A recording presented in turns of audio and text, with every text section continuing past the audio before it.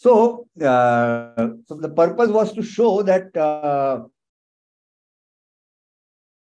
how can we be, uh, how does probability enter a picture in proving a mathematical theorem which has nothing to do with probability theory? And uh, it's not somebody says it can be done, but indeed, uh, this shows that, uh, by the way, Weierstrass proved his original thing was 1888.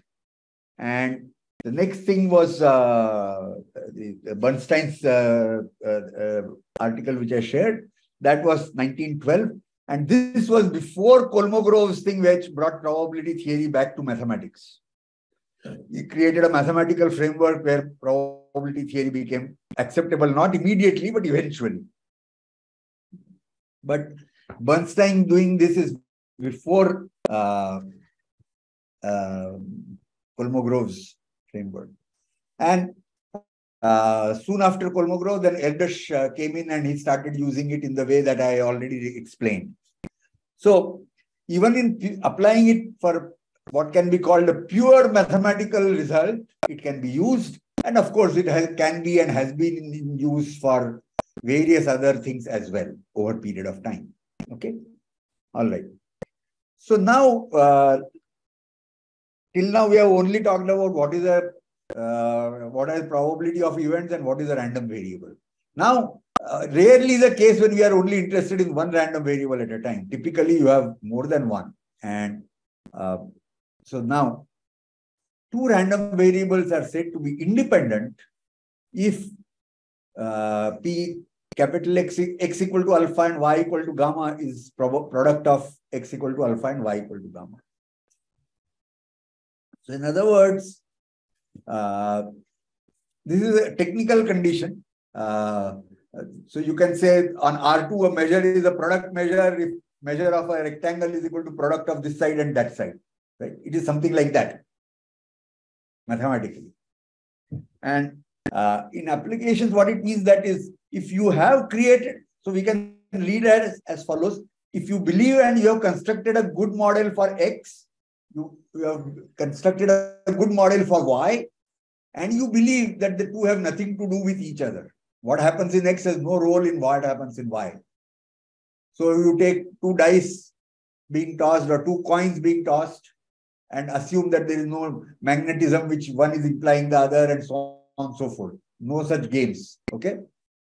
You pick one coin from one friend, another friend gives another coin, you take the two together and you are tossing it. And you, if you know, or if you think that you can success correctly model uh, what happens with probabilities of x and what happens with probability of y, then and you believe that they are independent, happening of one has no role in the happening on the other, then the left hand side gives you a good model for uh, a probability space on which both x and y are defined as functions, and now you have assigned probabilities to individual outcomes there. And if they are independent, if this holds, then one can verify that uh, for all functions f and g from omega to r plus, expected value of product of fx and gy becomes product of expectation of fx and expectation of gy. This is a trivial uh, computation for uh, uh, the uh, function, the, what we are dealing with, namely countable uh, uh, space omega. And in general, as you could see that you have uh, measure on x axis and measure on y axis, you can take the product measure and on product measure, this one will work. Now, let's come to this interesting part. If x and y are independent random variables, suppose both expectation squares are finite, expectation x is mu and expectation y is gamma. Then we compute what is variance of x plus y. And uh, so using linearity and uh, various other such things. So this is expectation x plus y minus mu minus nu. So expectation of xy, x plus y is mu plus nu. So using that, we will get uh, this. Uh, now we can x and mu we take together, y and mu we take together, and sum of squares we expand. x square, square, and product term. Now, these two as it is. Here, independence will tell us that this product, expectation of the product is product of the expectation. And mu is expected x minus x is zero, so expected of x minus mu will be zero. X, this will be zero. So therefore, this term is zero, and we just get the sum of these two, which is variance of the sum is variance of x plus y. Trivial calculation. Now, uh, from 2, we can straight away move to n-dimensional objects. So you have random variables x1, x2, xn. They are independent if for all aj, uh, probability that xj equal to aj, 1 less than equal to j less than equal to n is simply the product. So two-dimensional product to n-dimensional product. Okay. And this part that we did here, variance of the sum is equal to sum of the variances, same calculation will come and you will get uh, that variance of the sum is sum of the variances. The simplest example to do will be you take omegas to be finite sets. Omega 1, omega 2, omega 5, be five finite sets. Each one, you can, the probabilities could be equally likely. So each of them will be 1 over the total number of things. Now you take any function on each of them, take their sum and now try to compute what is being called as variance. You will see this factor. Okay.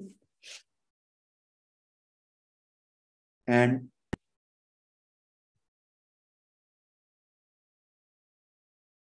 next, we come to a theme which is uh, common in statistics courses primarily. x1, x2, xn are said to be independent, identically distributed random variables. And it is abbreviated as IID. First I is independent, second I is identical, and third, D, third one is D, so distributed, IID. So statistics courses, uh, you just say, oh, let xn be IID. That's it. So uh, this is uh, for all uh, A1, A2, AN.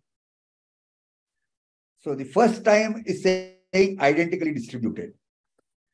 Namely, uh, the association of probabilities for each of them. So here is xj and here is x1. You could have said xj equal to xk for any j and k, but we just to be precise, we say it is exactly equal to the first one. Okay.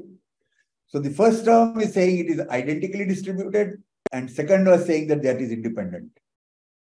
And then the computations we did earlier will tell us that if the mean of everything will be same as mean of first, which will be mu, let's say, and variance of everything will be same as variance of the first one, which we say put it as sigma square, and we will get that the variance of the n-fold sum is the sum of the n-fold variances, which will give you n sigma square.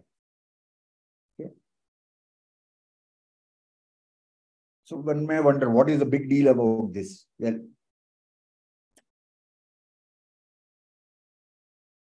now comes the crux. So if x1, x2, xn are IID, they say have common mean mu, variance, common variance is sigma square. Now Let's try to compute this object. What this is x1 plus x2 plus xn by n. Okay. So this is this will be like if, if you assume that you are repeating some experiment, x1 is the first outcome, x2 is the second outcome. It could be tossing a coin, it could be tossing a dice, it could be some more complicated experiment. So successive experiments are independent. What happened first time has nothing to do with what happened second time. Okay. So then, and then you are looking at their average, observed average. So x1 plus x2 plus xn by n is the observed average. Okay. So observed average minus the population mean. Mu can be thought of as the distributional mean or whatever population mean. So observed average minus mu square, we take the variance and that this calculations which we did trivially earlier reduced to 1 by n sigma square and then use Chebyshev's inequality you will get that probability that x1 plus x2 plus xn by n minus mu bigger than equal to epsilon less than equal to 1 by epsilon square 1 by n epsilon sigma epsilon square. And now you you have mu and sigma are anyway fixed. Let's fix epsilon and let n go to uh, uh, let epsilon be fixed, uh, mu sigma are fixed, and let n go to infinity. What happens? This will go to zero. So left hand side also goes to zero. That is probability that x1 plus x2 plus xn by n minus mu bigger than equal to epsilon goes to zero as n goes to infinity. Observed average is the ensemble average or population average depending on the physics terminology or distributional mean probability terminology. Observed average converges to the true mean. This is what is called law of large numbers and goes back nearly 500 years ago, earlier, starting with loose statements by Cardano, Jacob Bernoulli, and whole lot of names associated. Uh, this leads to in physics and some physical applications and also in math, the ergodic theorem. All that is related to origins are could be this. Okay. That observed average converges to the population average. If you are observing this independently.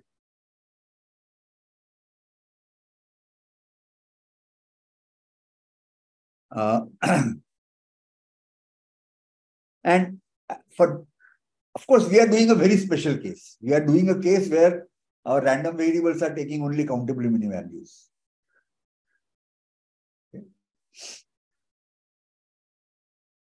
In fact, our omega itself is a countable object.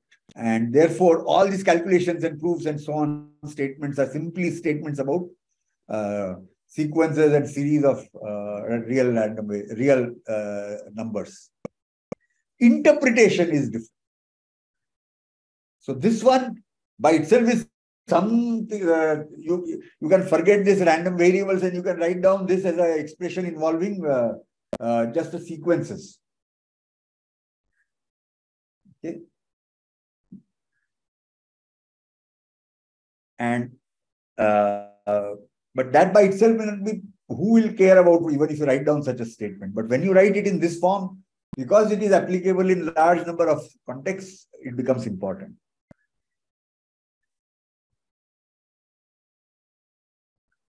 This also, or law of large numbers of this statement is also kind of why does one believe that if you think that some event is uncertain, why do we think that mathematical theory can give, mathematical frameworks and theory can give you any insight into it? And that whole thing starts by this, this thing had been observed ages ago, namely events which appear to be uncertain at micro level, namely individual level, when taken at a macroscopic level, when you combine them together, you see patterns. That is law of large numbers.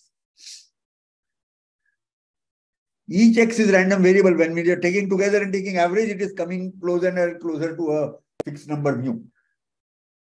So, uh, uncertainty at microscopic level, but leading to macroscopic uh, patterns. Okay. And this has been observed in uh, domains where people have kept data for, for uh, centuries. Things related to uh, uh, uh, weather and births in towns, male child versus female child, what proportion or how many, etc. Data has been kept in many countries, many cities, and centuries. And Weather amounts to taking uh, taking data on temperature, max temperature, min temperature, or in a um, um, uh, at a beach uh, or a, location where there is a, a seashore, uh, the uh, height of the uh, high tide and low tide heights. Now, Bombay, for example, high tide, low tide data is there, but does anybody care? Unless you want to go to beach and swim or do something very special activity, you will try to find out when is the high tide, when is the low tide. Or if you want to take our small kids there for some fun, we can think about it. But otherwise, who cares when is the high tide, when is the low tide? But go to, let's say, Netherlands. By the Netherlands amounts to saying the law uh, uh, uh, lower lands. But literally, if one takes the average height from mean sea level across Netherlands, it is less than zero, less than. So the, as a whole, uh, di several districts of uh, Holland, uh, their average height or level from mean sea level is negative. That means if somehow water once enters, it is not going to go. So it was important for them to do uh, to track how high the sea tide may go, and therefore create a dam which is that high. And dam in they use dike. That is the origin of the word dike, which is also a surname in Holland. Dick van Dyke is a surname or a family name. So this has been an important problem in Holland for generations, for decades, and they have data. I'm told that for 500 years or more, they have data on uh, uh, high tide levels at several locations on the coast of Holland. And uh, they want to use that to decide how high should the, is it growing up? If it is growing up, we have to raise all the dikes, their heights, and so on and so forth. So the fact that microscopic uncertainty in a certain exact cases leads to macroscopic patterns uh, made it possible that if you can de develop a uh, develop a uh, model which will explain this feature then that is the beginning of probability theory. Or that can be that that can be thought of as importance of probability theory. Okay? But of course this one is leading only to iid then there were, you don't need, of course, mathematically, everybody wants to do generalizations, right? So we all have done it sometime or the other. Okay, it is true for IID. Can we say, can we take out the first I? Can we take out the second ID? Second ID is easier to take out. You can put some conditions on their distributions. They may not be same, but if they don't differ too much, oh, this thing works. Okay. I'm not going to state those, but and this is I didn't want to keep on going on on this theme, but this is just the beginning. Then there is law of large numbers. This is law of large numbers. Then there's central limit theorem and uh, uh, various other things which could be done for IID, and then extended for independent, but with some conditions on the distributions. Okay. For for several decades, uh, this exercises went on. Uh, by the time I joined as a PhD student, more or less, IID thing is well understood what you can do and what you cannot do, and not much you can do after that. But by then, already it was getting clearer that uh, everything you need to go beyond independent. Independent is not the end point of probability theory. Okay.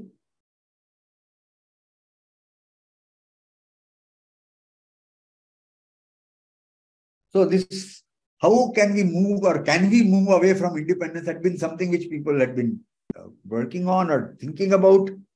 And let me again begin with an example. Okay, instead of an abstract notion. And uh, to be precise, this time I have picked out a, a, a picture of two dice being there. So consider toss of two dice, one red, one blue. Deliberately, I had to, locate a picture where, where these are different colors for reasons I'll explain in a few minutes. Okay.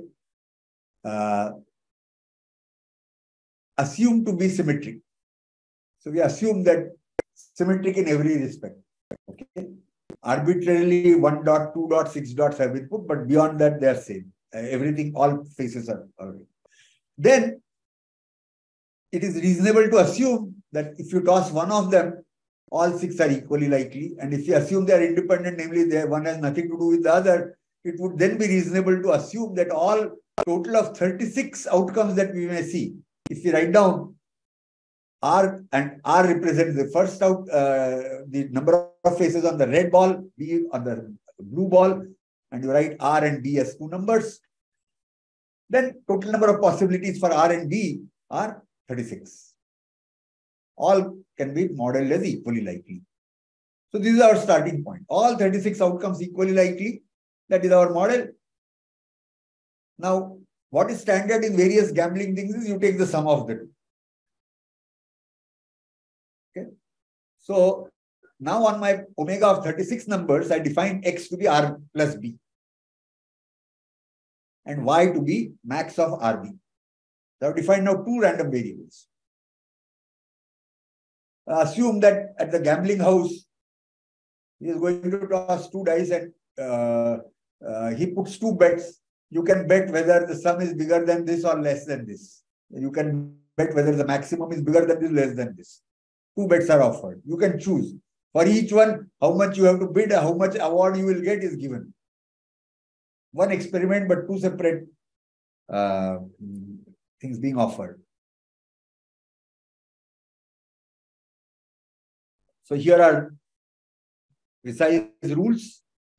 A gambler can bet rupees 100 on the event A and get a, a reward of 200 if the bid is successful or 100 on the face uh, event B uh, and would get a reward of 250 if the bid is successful. So A is a bid on the sum, B is a bid on the max. Okay. And uh, so firstly, uh, uh, gamblers who understand these things will go and compute what are the expected values and decide whether to gamble or not. Okay. Well, one can see that the probability of A is 5 by 12, probability of B is 5 by 9. You can count favorable cases divided by total equally likely case. So probability of event is just you count favorable case, each of them has equal probability equal to 1 by 36. Add them over, you will get 5 by 12 and 5 by 9. So expected value of the first bet is 1000 by 12 and for the second bet is 1250 by 9. Uh, both are uh, less than the average, uh, both than the amount they have to bid.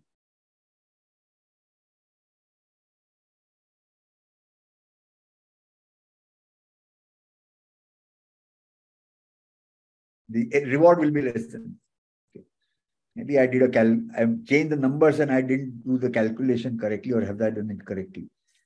Uh, first one, the reward is 200 times 5 by 9, 5 by 12 is 1000 by 12. This is correct. Second one, 250 times uh, 5 by 9. Yeah, correct. Okay. All right. So for a few days, gamblers do bid till they figure out what are the probabilities and so on and so forth. And the game starts losing steam. Everybody says, ah, it's a losing game. No play. So then, uh, so the host announces a variation. Okay, host says, okay, okay, just start bidding. If you uh, urges the gamblers to bid on A, begin with, and after the, uh, the toss is done already, and he declares whether A, uh, uh, the bid on the first one is correct, is success or otherwise. After that, you decide, do you also want to bid on B? Okay. So, in other words, he's giving the bidders or gamblers an option to bid on the second bid. An option meaning after seeing the first bid. So few people bid for A, the dice is tossed, and the host announces that the event A has happened, and so those who bid on A give get money. Now, those or others, they can they have to choose whether they still want to bid on B or not.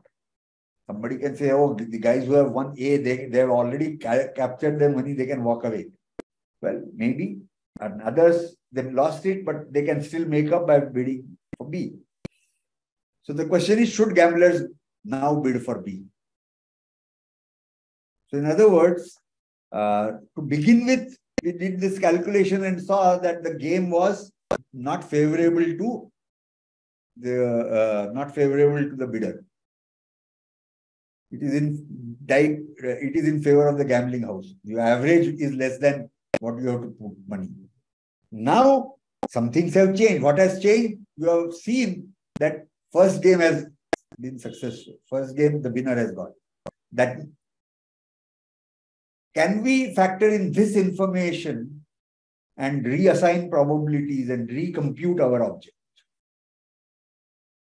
Okay, that's the question. And now let's analyze it our mathematically.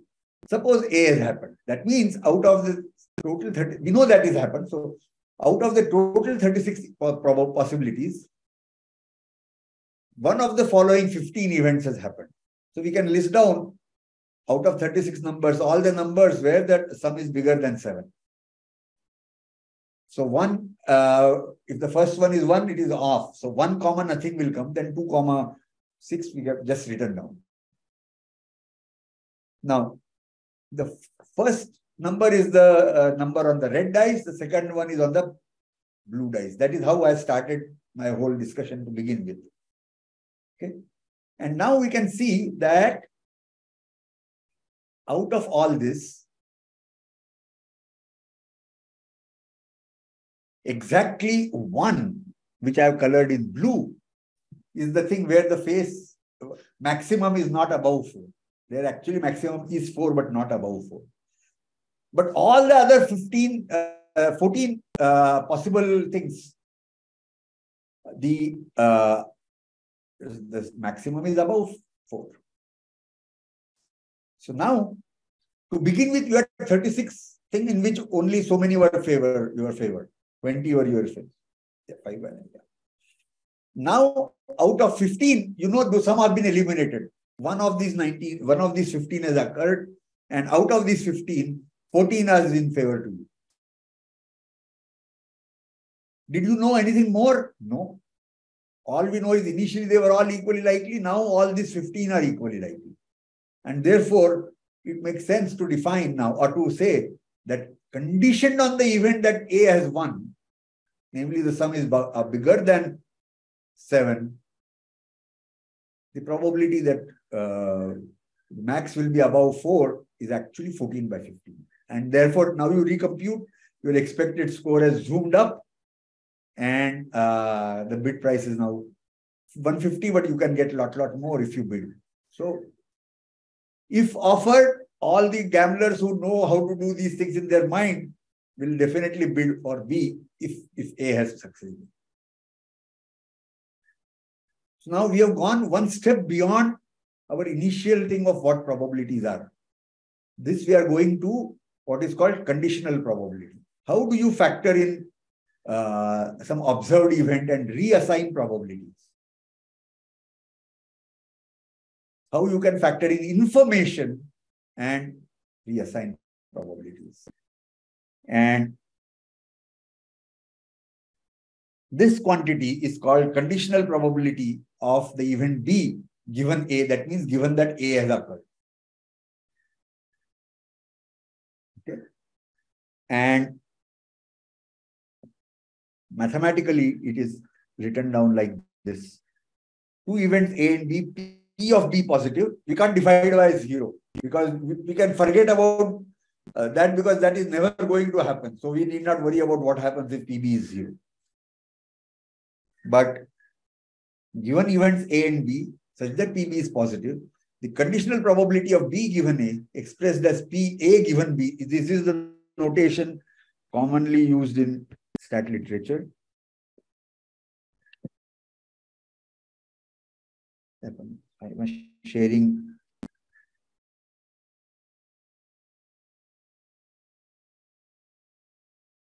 what the pencil stopped working for some reason.